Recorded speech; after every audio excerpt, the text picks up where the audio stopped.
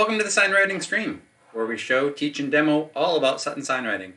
This week's episode, Signwriting in Unicode Characters and the Font Database. Let's get started. As always, go ahead and hop over on gitter.im in the Sutton Signwriting community. You can find the links and discussions. Love to hear your comments and questions. This week's episode, I've actually created a script for. You can find that on github.com slash Slevinski. It's, uh, it's the Signwriting Stream Series 1, Episode 10. First, what I'm going to do is I'm going to copy the clone link, and I will get started in VS Code. We're going to do git clone and paste in our link.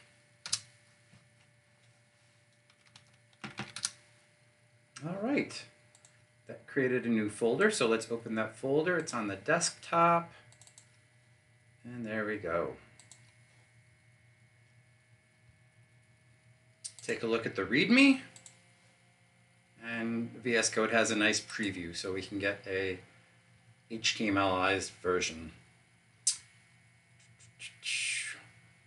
You can find the link to the documentation for the font database. Um, in this episode, I used the VS Code editor, the Bash command line, the Node runtime, runtime environment on Windows 10 with a Linux subsystem. To get started, we need to clone the repository for the font database. We can copy that command. We'll open up the terminal. Paste in our git clone command for the font database. Give that a minute to think, think, think. And we can keep reading. Uh, we need to enter our new directory and we need to install it. It will take a while, so let's get that started. We can cd to our font database, then npm install. This is going to install all of our dependencies for us. So while that's thinking, we can go ahead and keep reading. We're going to be using the Signwriting and Unicode character set. I, what we need to do is we need to install the Sutton Signwriting 1D font. And you'll notice that later I'll also be using the Firefox browser. To use the Signwriting and Unicode characters for development, we need to take a few steps. Rather than seeing these empty boxes, we, we want to see our actual characters. So what we need to do is we need to install the Sutton Signwriting 1D font. We can open up this link right here. All right, here it is. Available fonts, you can add the Sutton Signwriting line font and the fill font if you want, but for this episode, what we need to do is install the Sutton Signwriting 1D font. This is a TrueType font. We're going to save it. It's going to download, and once it's downloaded, we can open our file up and install. Should only take a second. There we go. Excellent. Now, the second thing we need to do is we need to configure VS Code to properly display our Signwriting and Unicode characters. What we need to do is go under File, Preferences, and Settings, and we're going to search for Font Family, and we're going to append our Sutton Signwriting 1D to the list of fonts.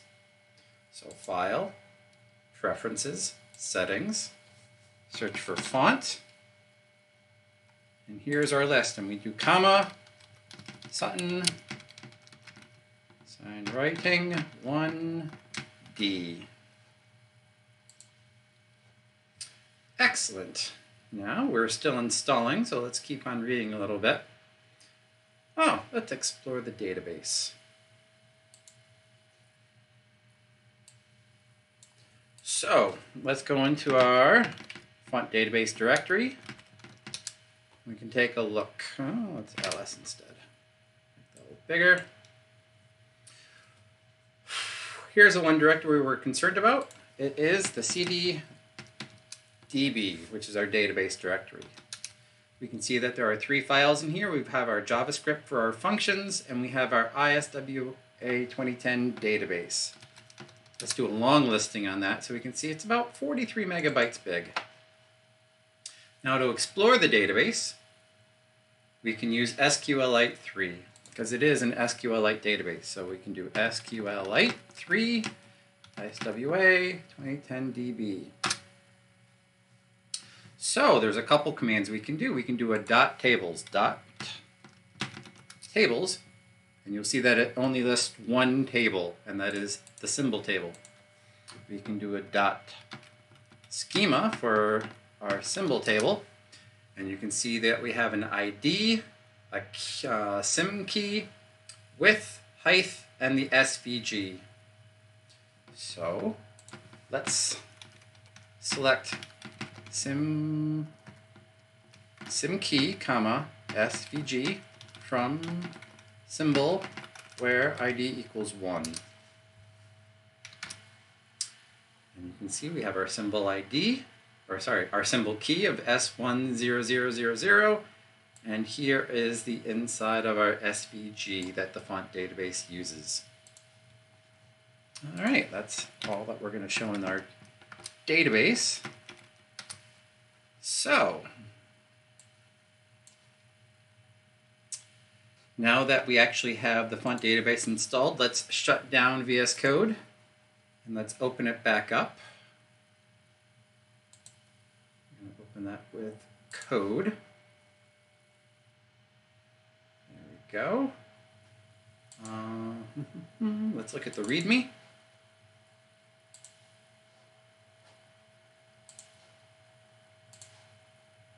All right. Now, when we scroll down in the editor, we can see that our SW characters are installed, so we can actually see them in the editor, which is very nice when you're programming. If you notice over here, we still see these boxes. That's because sometimes you need to add some cascading style sheets to tell it exactly what to use. Right here, we can see that. We're using a paragraph, and we're telling it the style, font family, Sutton Sign Writing 1D. And when we use that, our preview of our markdown file does in fact show our characters over here. All right, explore the database. We already did that. The functions. All right, let's cd into our font database. Now we can do lsswu. Make this a little bit bigger. And you can see here are all the functions that we can use. Now, if we're just concerned about making individual symbols, we can use the symbol SVG or the symbol ping. Let's scroll down further. What I want to do is show an example of using the sign. I'm going to scroll this down all the way here. So this is the command I wanted to copy. Node, saying run with node, the SWU sign ping. Here's the string I'm giving it, and I'm also giving it a style string, and I'm telling it to save it to a file. Copy that and paste that in our directory, and when that runs, we can actually look at the file system in the font database, and there's a new file called black.ping. We open that up, we can see our ping image that was created with our library. All right, there's also a server that we can use. Uh, this is an example server to show you how to use the functions.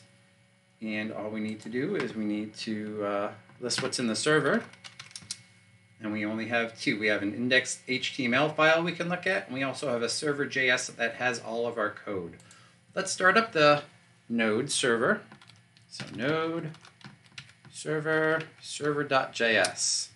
This is going to run a local server that we can actually view on localhost 4 1,200. Let's go back to Firefox, go to our page and refresh it, and here we can see that it is the Sutton Signwriting Font Database server. Let's scroll down to the uh, signwriting and Unicode functions. Let's take a look at a sign. Click on our SVG sign symbol, and it will go to a new address. It is localhost 4020 SWU, sign SVG, and it actually gives us our SVG. We can do a view source, and you can see inside we do have our SVG. We can see our text that we gave it in SWU, and we can see each of the individual symbols placed at their respective XY coordinates. In VS Code, go back to the file system, and we are concerned about in the server directory, the server.js.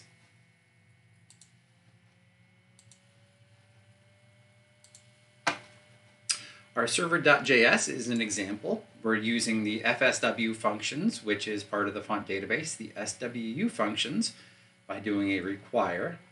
We're using the FS node, which is just the file system. We're using the an HTTP server from node by just doing require HTTP. And we're also including the URL module so that we can parse URLs. Um, we have our prefix for XML. You just need that so that the browser will display that properly. And then we start. We say our server is an HTTP create server, which has a request and a response. We're going to parse our, requ our uh, request, giving it that URL. And that URL is that is what is up here. Localhost, SWU, sign SVG. So what we need to do is find the uh, SWU sign SVG. We have uh, case here we don't need, don't need. And we keep, keep going down until we get to the SWU. Now we have SW symbol. And here it is, SW sign SVG. To use, or actually to create the SVG we're going to be using, we use the SW module that we uh, imported before with the require statement. We're using the sign SVG and we're going to pass it that parts 4. That parts 4 is actually the SWU character string that we had sent. And it, you pass that into a function with an error and a result. If there's an error, we'll just log it to the console. But if there is a response, that will mean that it did send us back an SVG that we can use. We just tell it the header which is an image SVG. We write the prefix, which every SVG needs to display properly, and then we just write the response. And that response that we wrote is that response that is right here. So, that right there is a quick introduction of using sign writing and Unicode characters in our editor and with the Font database package. I hope that this was useful comments and questions, please join our Gitter. Thanks for watching.